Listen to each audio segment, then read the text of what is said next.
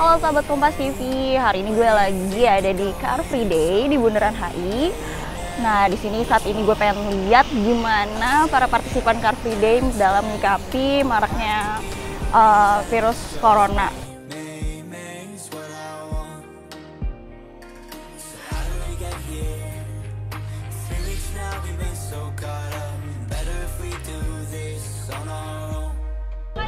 Nah, sahabat Kompas TV, saat ini gue mau wawancarain salah satu partisipan Car Free Day hari ini. Yuk, kita coba tanya-tanya dulu.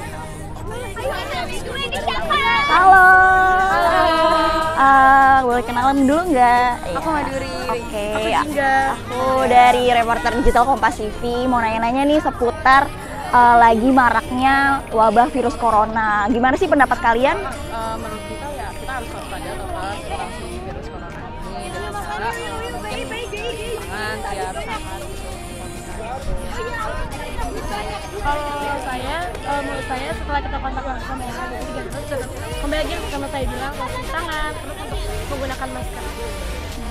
Iya sih, ya sama juga sih yang pasti cuci tangan. Eh, ya apalagi kayak sekarang ini banyak banget pakai masker gitu kan dan buat pakai masker itu nggak semua orang harus pakai masker. Pakai masker itu cuma emang lagi nggak fit. Terus kalau misalnya nggak pakai masker lebih baik nggak usah pakai karena itu malah lebih memicu adanya virus-virus yang nggak baik. Oke. Eh, jadi eh, kalian nih nggak pakai masker karena memang kalian kan dalam kondisi fit ya, dalam kondisi sehat dan yang menggunakan masker itu hanya yang dalam kondisi sakit aja. Nah, terakhir nih pertanyaannya, kalian takut gak sih sama eh, wabah virus corona yang sedang marak saat ini tuh? Ya takut sih, takut Iya, ya, takut terus sih lah. Coba yang nggak ada yang tahu soalnya kan virusnya udah sampai mana.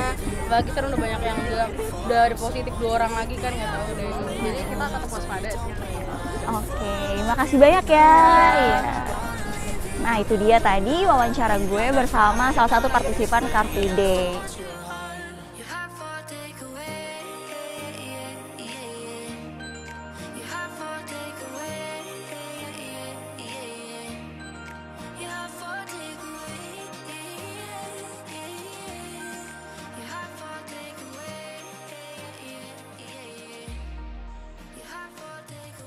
Nah, sahabat Kompas TV, saat ini gue nemuin salah satu partisipan Car Free Day yang ternyata pakai masker. Kita coba tanya dulu yuk.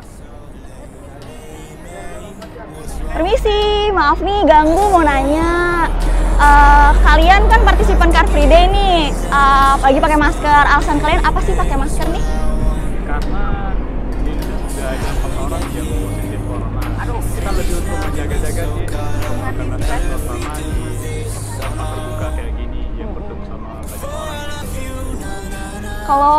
antisipasi dari kalian selain pakai masker biasanya apa sih gitu? Untuk. Udah kita udah beli hand sanitizer, Hmm. sering tangan, kemudian udah jarang berada di tempat terbuka. Oke, berarti karena kalian juga selain mau olahraga, kalian mau mencari uh, kualitas udara yang lebih segar tentunya ya. Oke. Sebenarnya kalian takut gak sih kalau sama uh, lagi dari kalian pribadi ini takut nggak sama maraknya wabah virus corona saat ini? Dari kalian pribadi nih satu-satu. Kalau saya sih nggak terlalu takut ya, cuma lebih waspada itu harus. Oke, dari mbaknya? Kalau saya pribadi sih ya jangan terlalu dipikirin ya, cuman ya harus hati-hati dan sering jaga diri aja sih dari kebersihan. Mbaknya nih yang terakhir?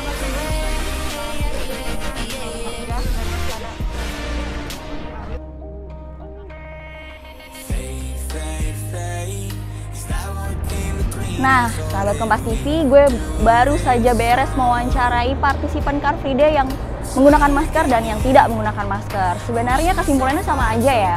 Jadi eh, kita harus terus menjaga kesehatan dan jangan lupa untuk selalu mencuci tangan setelah memegang atau menyentuh benda-benda lainnya. Dan dan jangan lupa etika batuk ya. Kalau misalkan batuk atau dalam kondisi sakit ya pakai masker. Dan kalau batuk jangan lupa ditutup agar droplets atau butiran-butiran nantinya tidak akan menyebar dan uh, akhirnya kena ke orang gitu.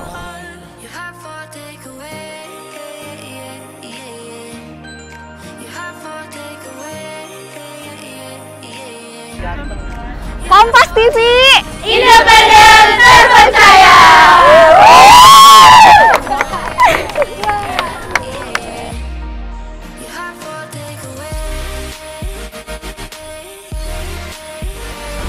Gue Anjani pamit undur diri dulu. Jangan lupa subscribe channel Kompas TV ya.